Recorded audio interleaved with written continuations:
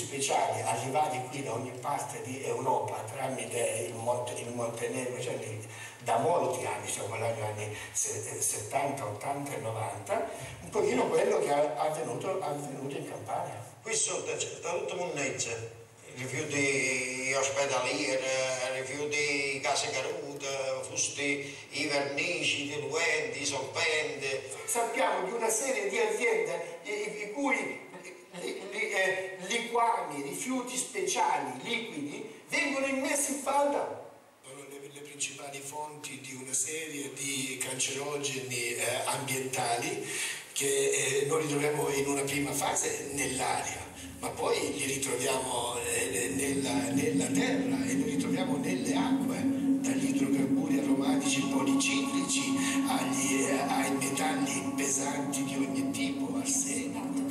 Che all'aumentare della concentrazione di sostanze genotossiche nell'ambiente aumentano pure determinate patologie correlate, quali i tumori, le allergie, le sindromi autoimmuni. Le sostanze ad attività genotossica presenti nel terreno possono avere effetti avversi sulla salute umana attraverso l'inalazione delle polveri e l'ingestione di prodotti vegetali che assorbono tali composti dal suolo.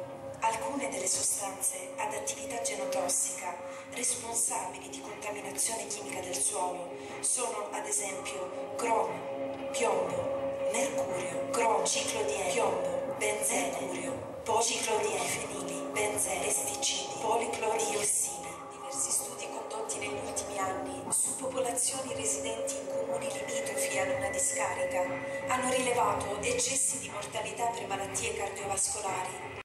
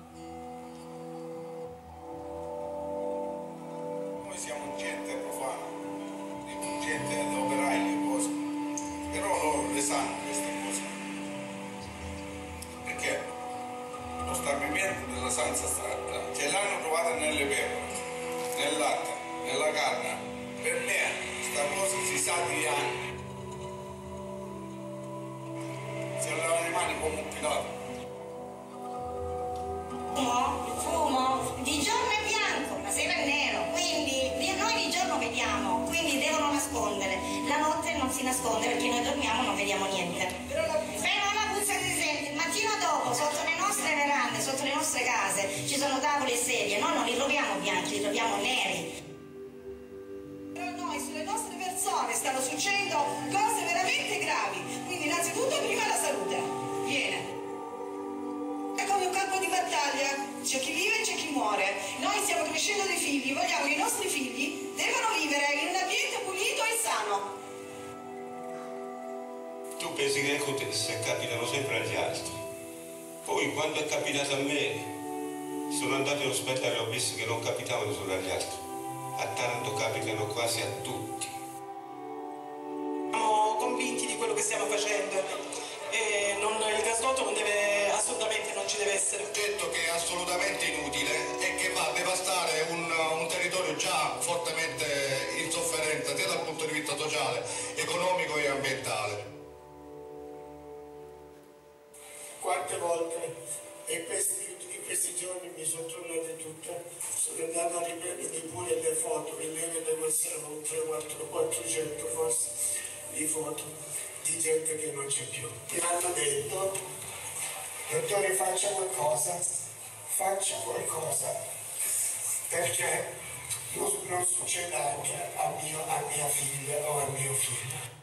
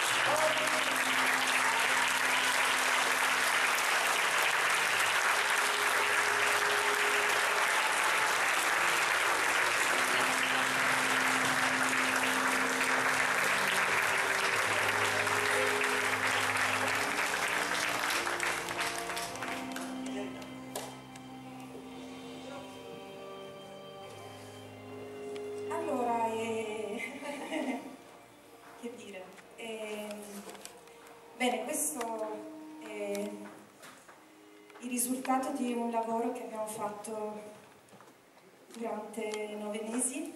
Ehm, è uno spettacolo di teatro partecipato, è partecipato perché appunto è basato sulla partecipazione, sulla condivisione e, e abbiamo lavorato, abbiamo scelto di lavorare su questo tema che è, molto caro, è appunto la questione dell'ambiente, del rapporto ambiente e salute. E per noi questo è il momento, forse uno dei momenti più importanti, ce ne sono stati tanti durante il laboratorio, però eh, chiaramente il confronto con il pubblico, il confronto tra cittadino e cittadino è, è un momento importante perché condividiamo con voi il nostro punto di vista su come stanno le cose. E niente, non, vorrei ringraziare tutti quanti. Eh, Fortunata, Isabella, Consiglia, Rita, Gabriella, Andra, Orso, Michela, Teo, Adriano, Carmen, Mariella e Francesca. E, e poi ringrazio ovviamente la, la LIT, eh, Marianna, Giuseppe Serravezza e tutto lo staff insomma, dei volontari che ci hanno sostenuti. E, e niente, passo la parola a Marianna Burlando magari per... A nome di tutti i volontari. Lei è Chiara Dostuni, è stata l'ideatrice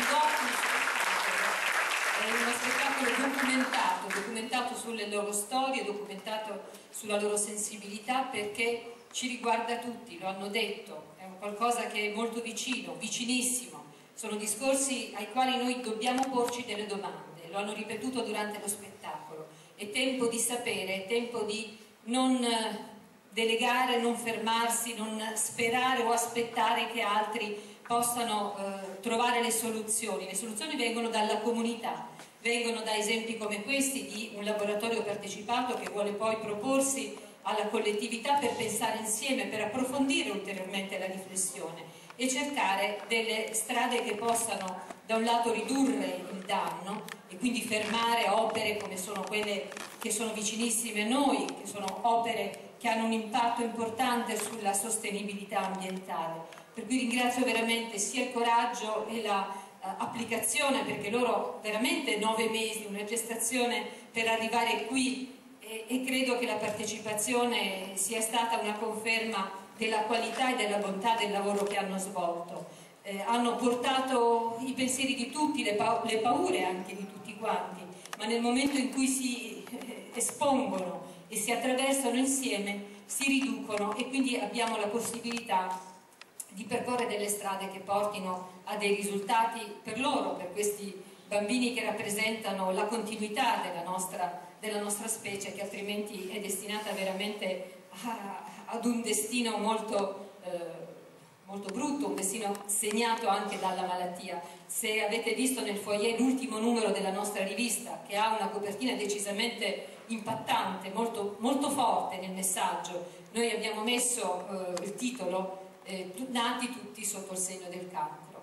Perché? Perché veramente siamo tutti esposti, siamo tutti a rischio, rischio reale, rischio concreto, rischio vicino, perché le contaminazioni sono tante, dentro le nostre case, che qualcuno all'inizio ha detto profumate, pulite, ma eh, sono già questi degli elementi eh, di nocività, di tossicità. Dobbiamo lavorare insieme, dobbiamo a quelle domande dare una risposta e la comunità salentina una risposta l'ha già data, perché col centro Ilma a cui questo spettacolo devolverà eh, gli utili è proprio una risposta, la risposta concreta di un istituto di ricerca in oncologia ambientale, perché noi vogliamo sapere questo nostro territorio, da cosa è composto, la sua qualità, la sua sostenibilità e quindi cercare di preservarlo il più possibile, da un lato riducendo, bonificando e quindi cambiando rotta su certe scelte industriali, scelte lavorative, per ridurre tutto quello che è stato invece fatto sinora. E una risposta è proprio quella del centro ILMA, io vi invito tutti a sostenerlo, a parlarne perché non sempre riusciamo a raggiungere tutti per presentare questo che è un progetto veramente innovativo, non esiste in Italia, non esiste in Europa,